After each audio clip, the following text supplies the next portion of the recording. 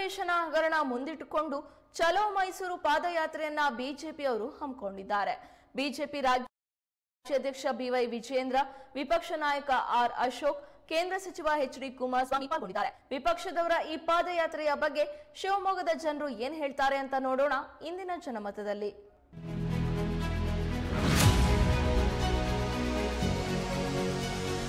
Sir, ನಮಸ್ಕಾರ. ಸಿದ್ದರಾಮಯ್ಯನವರು ರಾಜೀನಾಮೆ ಕೊಡಲೇಬೇಕು. ಇದು ಮಾಡ್ತಾ ಇರೋಂಥ ರಾಜ್ಯಾದ್ಯಂತ ಬಿ ಜೆ ಪಿ ಪ್ರತಿಭಟನೆ ಮಾಡ್ತಾ ಇದೆಯಲ್ಲ, ಅದು ಮೂಡದ್ದು ಅವರು ಹಗರಣ ಮಾಡಿದಾರಲ್ಲ, ಹಂಗಾಗಿ ಅವ್ರು ರಾಜೀನಾಮೆ ಕೊಡಲೇಬೇಕು. ರಾಜ್ಯಾದ್ಯಂತ ನಮ್ಮ ಬಿ ಜೆ ಪಿ ಪ್ರತಿಭಟನೆ ಮಾಡ್ತಾ ಇರೋದು ಒಳ್ಳೆ ಕಾರ್ಯ. ಹಾಗಾಗಿ ಅವರು ಆ ಈ ಹಗರಣದಲ್ಲಿ ಅವರು ಸಿಕ್ಕಾಕೊಂಡ್ರೆ ತಕ್ಷಣ ರಾಜೀನಾಮೆ ಕೊಡಬೇಕಾಗಿ ಕೇಳ್ಕೊತೀವಿ. ಹೌದು, ಮಾ, ನೀವು ಹೇಳ್ದಂಗೆ ಕರೆಕ್ಟು, ಪ್ರವಾದದೆಲ್ಲ ಕರೆಕ್ಟು. ಆದರೆ ಅವರು ಇದು ಮೂಡೋದು ಹಗರಣ ಇದಾಗಿದೆಯಲ್ಲ, ಹಾಗಾಗಿ ಅದು ಎಷ್ಟು ಸಾವಿರ ಕೋಟಿ ರೂಪಾಯಿ ಇದಾಗಿದೆ. ಹದಿನಾಲ್ಕು ಸಾವಿರ ಕೋಟಿನೋ ಹದಿನೈದು ಸಾವಿರ ಕೋಟಿ ಹಗರಣ ಆಗಿದೆ. ಅದನ್ನೆಲ್ಲ ಇಟ್ಕೊಂಡು ಇವರು ರಾಜಕೀಯ ಇದು ಮಾಡ್ತಾ ಇರೋದು ಸರಿ ಇಲ್ಲ. ಹಾಗಾಗಿ ಬಿ ಜೆ ಪಿಯವ್ರು ಮಾಡ್ತಾ ಇರೋದು ಸರಿ ಇದೆ. ಅವ್ರು ತಕ್ಷಣ ರಾಜೀನಾಮೆ ಕೊಡಬೇಕಾಗಿ ಕೇಳ್ಕೊತೀವಿ. ಎಸ್ ಐ ಟಿ ಎಲ್ಲ ಅವರ ಕೈನಲ್ಲೇ ಇದೆಯಲ್ಲ ಸರ್? ಎಸ್ ಐ ಟಿ ಎಲ್ಲ ಅವರು ಇದು ಹ್ಯಾಂಡ್ ಓವರ್ ಒಳಗೆ ಇದೆ. ಹಾಗಾಗಿ ಸಿ ಬಿ ಐಗೆ ಕೊಡಬೇಕಿದು. ಈ ಮೂಡೋದು ಏನಿದೆ, ಅದು ಅಷ್ಟು ಸಿ ಬಿ ಐಗೆ ಕೊಡಬೇಕಾಗಿ ಕೇಳ್ಕೊತೀವಿ. ಈ ಮಹಿಳೆಯರಿಗೆ ಕೊಡ್ತೀನಿ ಅಂತಂದು ಸುಳ್ಳು ಹೇಳಿ ನಾಲ್ಕು ತಿಂಗಳಿಂದ ಮೋಸ ಮಾಡ್ತಾ ಇದ್ದಾರೆ. ಇವರು ಬಂದಿರೋದೇ ಕೂಡ ಬರೇ ಮೋಸದಿಂದಲೇ ಬಂದಿರೋದು ಇವರು. ಹಾಗಾಗಿ ಮಹಿಳೆಯರಿಗೂ ಕೂಡ ಅನ್ಯಾಯ ಮಾಡಿದ್ದಾರೆ. ರಾಜ್ಯದ ಜನಕ್ಕೂ ಕೂಡ ಅನ್ಯಾಯ ಮಾಡಿದ್ದಾರೆ. ಹಾಗಾಗಿ ತಕ್ಷಣ ಈ ಮೂಡ ಇದರಿಂದ ಅವ್ರು ತಕ್ಷಣ ರಾಜೀನಾಮೆ ಕೊಡಬೇಕಾಗಿ ಕೇಳ್ಕೊತೀವಿ. ಚಂದ್ರಶೇಖರ್ ವಾಲ್ಮೀಕಿ ಹಗರಣದ ಇವರು ಅಧಿಕಾರಿ ಅವ್ರು ತೀರೋಗ್ಯಾರೆ. ಅವ್ರ ಕುಟುಂಬದ ಬಗ್ಗೆ ಏನು ಒಂದು ಸ್ವಲ್ಪ ಕಾಳಜಿ ಇಲ್ಲ ಇವರಿಗೆ, ರಾಜ್ಯ ಸರ್ಕಾರಕ್ಕೆ. ಮೂಲೆ, ಆಗ ಕೇಸನ್ನೇ ಮೂಲೆ ಗುಂಪು ಮಾಡಿದ್ದಾರೆ. ಹಾಗಾಗಿ ಅದ್ರ ಪ್ರಯುಕ್ತ ಮತ್ತು ಈ ಮೂಡೋದು ಎರಡು ಸೇರಿಸಿ ಅವರು ತಕ್ಷಣ ರಾಜೀನಾಮೆ ಕೊಡಬೇಕಾಗಿ ನಮ್ಮ ಬಿ ಜೆ ಪಿ ವತಿಯಿಂದ ಪ್ರತಿಭಟನೆ ಮಾಡ್ತಿದ್ದಾರೆ. ಅದು ಒಳ್ಳೆ ಕಾರ್ಯ ಮಾಡ್ತದೆ. ಮೂಡಾಗಣದಲ್ಲಿ ಸಿದ್ದರಾಮಯ್ಯನವರ ಪಾತ್ರ ಏನೂ ಇಲ್ಲ. ಅವ್ರದ್ದು ಜಮೀನು, ಅವರ ಹೆಂಡ್ತಿ ಹೆಸರಿಗೆ ಅವರ ಹೆಂಡ್ತಿ ಅಣ್ಣ ಅವರು ದಾನಪತ್ರ ಕೊಟ್ಟಿರೋದು. ತೊಂಬತ್ನಾಲ್ಕರಾಗೆ ಅವರು ಇದಾಗಿರೋದು ಅದು. ಮೂಡೋದರು ಅವರು ಜಮೀನನ್ನು ಇದು ಮಾಡ್ಕೊಂಡು ಇದು ಮಾಡಿದ್ದಕ್ಕೆ ಬೇರೆ ಕಡೆ ಅವರಿಗೆ ಫಿಫ್ಟಿ ಫಿಫ್ಟಿ ಅನುದಾನದೊಳಗೆ ಕೊಟ್ಟಾರೆ. ಅವರಿರೋ ಏರಿಯಾದೊಳಗೆ ಅದೊಂದು ಸ್ವಲ್ಪ ರೂರಲ್ ಇರ್ಬೋದು. ರೂರಲ್ಲು ಕೊಟ್ಟಿಲ್ಲ, ಬೇರೆ ಕಡೆ ಕೊಟ್ಟಾರೆ. ಅದು ತಪ್ಪು ಮೂಡ ಅವ್ರದ್ದೆ. ದೇವೇಗೌಡರ ಕುಟುಂಬಕ್ಕೆ ನಲವತ್ತೆಂಟು ಸೈಟು ಹೆಂಗೆ ದೇವೇಗೌಡ ಇದು, ದೇವೇಗೌಡರು ಮುಖ್ಯಮಂತ್ರಿ ಆದಾಗ ಆಯಿತು? ವಿರೋಧ ಪಕ್ಷ ಅಂದಮೇಲೆ ಮಾಡಲೇಬೇಕಾಗತ್ತೆ, ಅವರು ಅದು ಏನಾಗುತ್ತೋ ಏನೋ ಮುಂದಿಂದದು ಇದು. ವಿರೋಧ ಪಕ್ಷ ಅಂದಮೇಲೆ ಮಾಡಲೇಬೇಕಲ್ಲ? ಕಾಂಗ್ರೆಸ್ನಲ್ಲಿದ್ದರು ಅವ್ರು ಮಾಡಿದ್ರು, ಇವರು ಕಾಂಗ್ರೆಸ್ ಪಕ್ಷದವರು ವಿರೋಧ ಪಕ್ಷ ಮಾಡೇ ಮಾಡ್ತಾರೆ.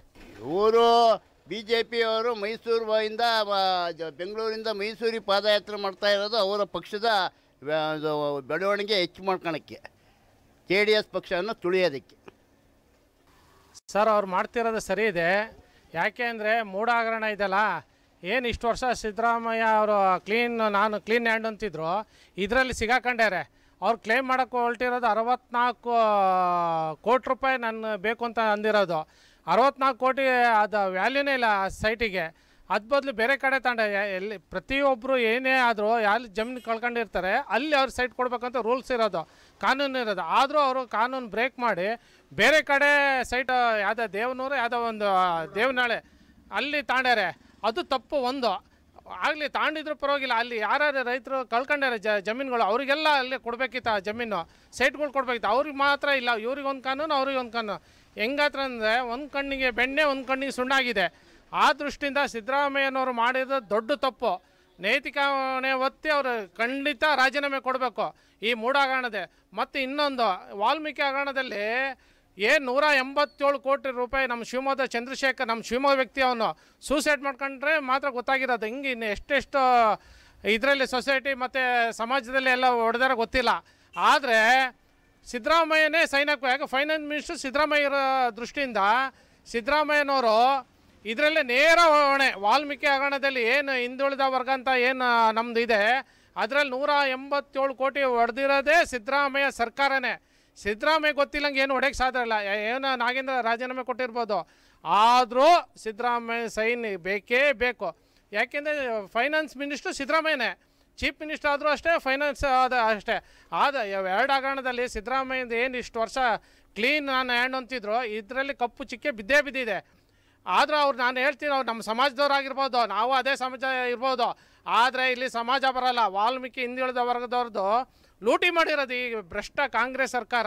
ಆ ದೃಷ್ಟಿಯಿಂದ ಈ ಭ್ರಷ್ಟ ಕಾಂಗ್ರೆಸ್ಸು ಈ ರಾಜ್ಯದಲ್ಲಿ ಬಂದಮೇಲಂತೂ ಎಲ್ಲ ಇಲಾಖೆಗಳು ಲೂಟಿ ಮಾಡ್ತಾ ಇದ್ದಾರೆ. ಮೊನ್ನೆ ಒಬ್ಬ ದಲಿತರ ಪೊಲೀಸು ಪಿ ಎಸ್ ಐ ಸತ್ತೋದ.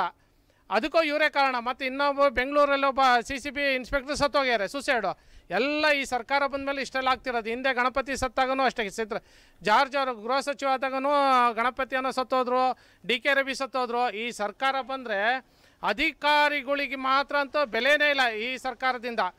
ಈ ಅಧಿಕಾರಿಗಳಿಗೆ ಸುಲಿಗೆ ದಲ್ಲಾಳಿ ಥರ ಇಟ್ಕೊಂಡಾರೆ, ಅಧಿಕಾರಿಗಳು ಕೆಲಸನೇ ತಾಂತಿಲ್ಲ.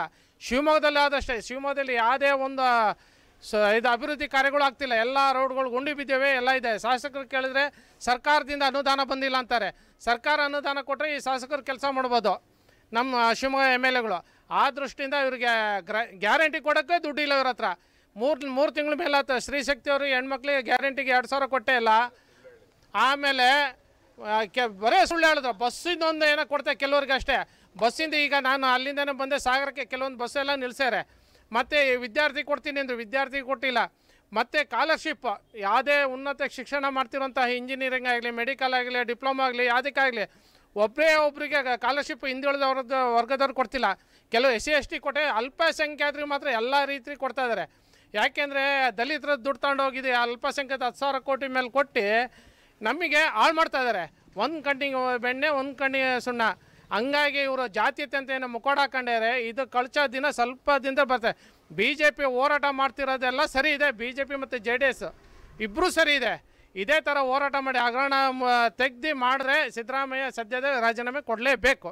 ಖಂಡಿತ ಆಗ್ಯಾರೆ. ನೇರ ನಾನು ಆಪಾದನೆ ಮಾಡ್ತೀನಿ. ಯಾಕೆಂದರೆ ಫೈನಾನ್ಸ್ ಮಿನಿಸ್ಟರ್ ಸಿದ್ದರಾಮಯ್ಯನೇ ಯಾರೇ ಅಧಿಕಾರಿ ಎಷ್ಟು ನೂರ ಎಂಬತ್ತೇಳು ಕೋಟಿ ರೂಪಾಯಿ ಹಗರಣ ಮಾಡಬೇಕು ಅಂದರೆ ಮೇ ನೇರವಣೆ ಒಂದು ಚೆಕ್ ಸೈನ್ ಆಗಬೇಕು ಅಂದ್ರೆ ಫೈನಾನ್ಸ್ ಸೆಕ್ರೆಟರಿ ಇರ್ತಾನೆ ಫೈನಾನ್ಸ್ ಇವನು ಇರ್ತಾನೆ, ಸಿದ್ದರಾಮಯ್ಯ ಗಮನಕ್ಕೆ ಬಂದೇ ಮಾಡಬೇಕು.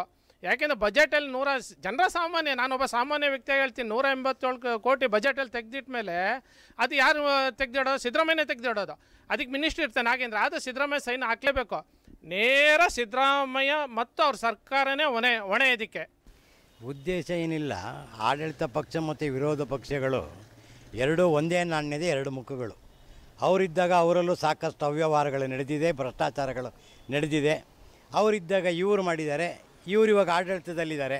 ವಿರೋಧ ಪಕ್ಷದಲ್ಲಿ ಕೂತ್ಕೊಂಡು ಅವರು ಅದನ್ನು ಹೈಲೈಟ್ ಮಾಡಿಕೊಂಡು ಸರ್ಕಾರನ ಕೆಡವಿ ಮತ್ತೊಂದು ಸರ್ತಿ ಸಾರ್ವಜನಿಕರ ತಲೆ ಮೇಲೆ ಚುನಾವಣೆಯ ವೆಚ್ಚವನ್ನು ಹೊರಸೋದಕ್ಕೋಸ್ಕರವಾಗಿ ದೀರ್ಘವಾದಂಥ ಪ್ರತಿಭಟನೆಯನ್ನು ಮಾಡ್ತಾ ಇದ್ದಾರೆ. ಹಾಗಾಗಿ ಬೆಂಗಳೂರಿನಿಂದ ಮೈಸೂರು ಚಲೋ ಕಾರ್ಯಕ್ರಮವನ್ನು ಹಮ್ಮಿಕೊಂಡಿದ್ದಾರೆ.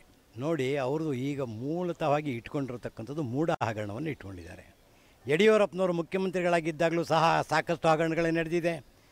ವಿಜಯೇಂದ್ರ ಅವರ ಹೆಸರಿಗೆ ಶಿಕಾರಿಪುರ ಬ್ಯಾಂಕಿಗೆ ಬಂದಿರತಕ್ಕಂಥ ಡಿ ಡಿ ಹಗರಣ ಇದೆ. ಅದನ್ನೆಲ್ಲ ಅವರು ಅವತ್ತಿನ ದಿವಸ ಯಾರೂ ಪ್ರತಿಭಟನೆ ಮಾಡಲಿಲ್ಲ.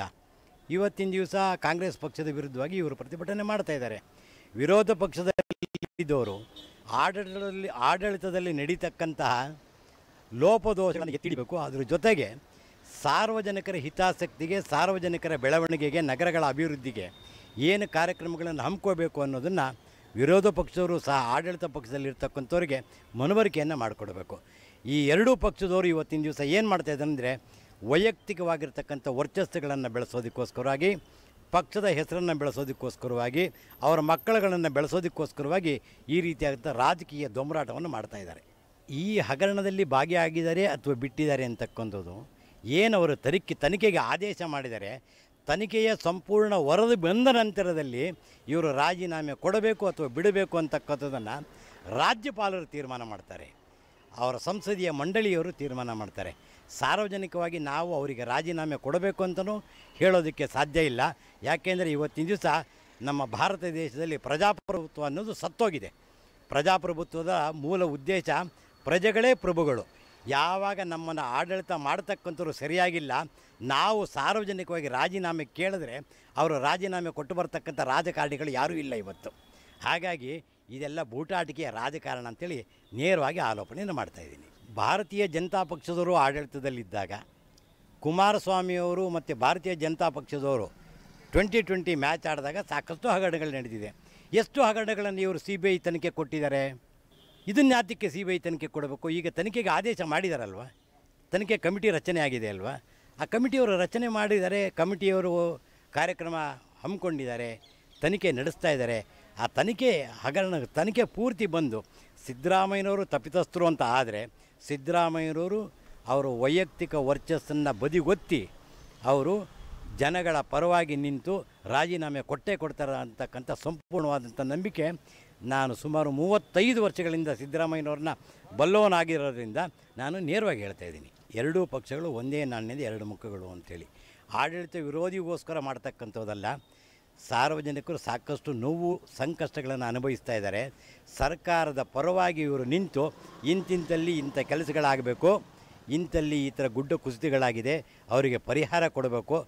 ಅದೇ ಇವರು ಸಾರ್ವಜನಿಕ ಹಿತಾಸಕ್ತಿಯನ್ನು ಗ ಗಮನದಲ್ಲಿ ಇಟ್ಕೊಂಡಿದ್ದಿದ್ರೆ ಅವ್ರದ್ದು ಎಲ್ಲರೂ ಎಂ ಎಲ್ ಎಗಳು ಒಂದೊಂದು ತಿಂಗಳು ಸಂಬಳನ ಬಿಟ್ಕೊಡ್ಬೋದಲ್ಲ ಸರ್ಕಾರಕ್ಕೆ? ಯಾಕೆ ಬಿಟ್ಕೊಡಲ್ಲ? ಅವರಿಗೆ ಅವರು ದುಡ್ಡು ಬೇಕು, ಅವರಿಗೆ ಸಂಬಳ ಬೇಕು, ಪೆಟ್ರೋಲ್ ಅಲೋಯನ್ಸ್ ಬೇಕು ಹೆಚ್ ಆರ್ ಎ ಬೇಕು, ಎಲ್ಲ ಬೇಕು. ಆದರೆ ಸಾರ್ವಜನಿಕರಿಗೆ ಈ ಥರ ಆದಾಗ ಒಂದು ತಿಂಗಳ ಸಂಬಳನ ಇವತ್ತಿನವರೆಗೂ ಯಾರಾದರೂ ಒಬ್ಬ ಎಂ ಎಲ್ ಎ ನಾನು ಬಿಟ್ಕೊಡ್ತೀನಿ ಅಂತ ಹೇಳಿದಾನ? ಬಿ ಜೆ ಪಿಯವರಾಗಲಿ, ಕಾಂಗ್ರೆಸ್ನವರಾಗಲಿ, ಜೆ ಡಿ ಎಸ್ನವರಾಗಲಿ ಹೇಳಿದಾರಾ?